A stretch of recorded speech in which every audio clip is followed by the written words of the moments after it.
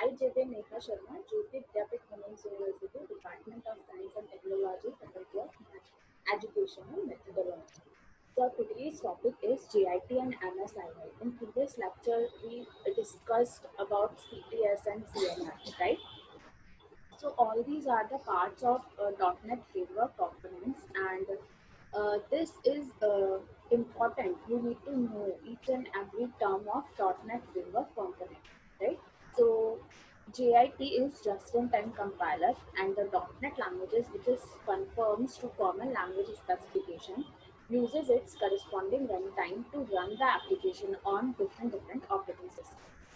तो हमने पढ़ा था कि कॉमन लैंग्वेज जो है वो यूज़ करता है corresponding run time to run the application on different different OS क्योंकि प्लेटफॉर्म इंडिपेंडेंट है मल्टी लैंग्वेज सपोर्ट है तो during the code execution time जो आपका मैनेज कोड है compiled only when it is needed then it is convert the appropriate instructions to native code हमने ये सी L are में भी पढ़ा था कि आपका जो मैनेज कोड है, वो नेटिव कोड में कन्वर्ट होता है। अब उसके बाद आपके ऊपर है, आप उसे एग्जीक्यूट कराना चाहते हैं और कौन से एप्लीकेशन पे एग्जीक्यूट कराना चाहते हैं राइट तो यहाँ पे भी हम यही बात कर रहे हैं कि जो JIT जो है वो क्या करता है? आपका जो मैनेज कोड है उसे नेटिव कोड में कन्वर्ट करता है for execution just before when each function is called So with the help of JIT, the common language runtime doing this task.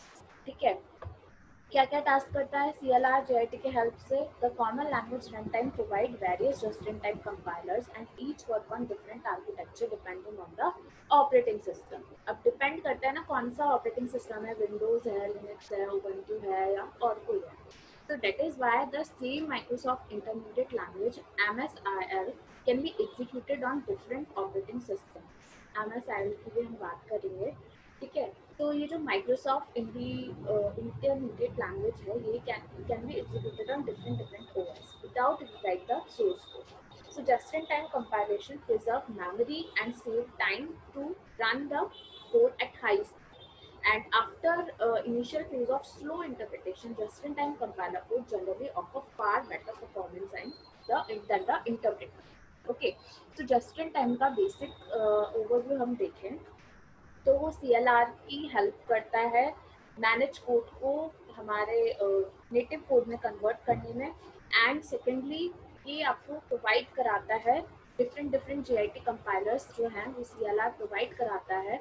और इससे इसके थ्रू क्या होता है कि आपका जो नेटिव कोड है, वो जो आर्किटेक्ट जो है, वो प्लेटफॉर्म इंडिपेंडेंट हो जाएगा और डिफरेंट डिफरेंट ओ एस पे रन करेगा। और जी आई टी जो है, आपको फार बेटर परफॉर्मेंस देता है in comparison of common interpreters okay then now here uh, we can talk about Microsoft Intermediate Language जो यहाँ पे ऊपर काम आई थी कि माइक्रोसॉफ्ट इंटरमीडिएट लैंग्वेज जो है हमारी वो एग्जीक्यूट होती है डिफरेंट डिफरेंट ऑपरेटिंग प्लेटफॉर्म्स पे without write the source code तो what is the significance of M S I L and what is M S I L So MSIL stands for Microsoft Intermediate Language and you can call it as Intermediate Language or Common Intermediate Language. So during the compile time, compiler converts the source code into MSIL dot uh, Microsoft uh, Immediate Language MSIL is a CPU independent set of instructions that can be efficiently converted to the native code. तो अब यहाँ पे क्या आएगा अब यहाँ पे hierarchy क्या बन गई manage code then M S I L then native code ठीक है? अब जो एम एस आई एल है वो कन्वर्ट कैसे होगा? Manage code M S I L में जाना है। तो कन्वर्ट कौन कर रहा है? इसको जे आई टी ठीक है? और जे आई टी ही उसे नेटिव कोड में कन्वर्ट कर रहा है।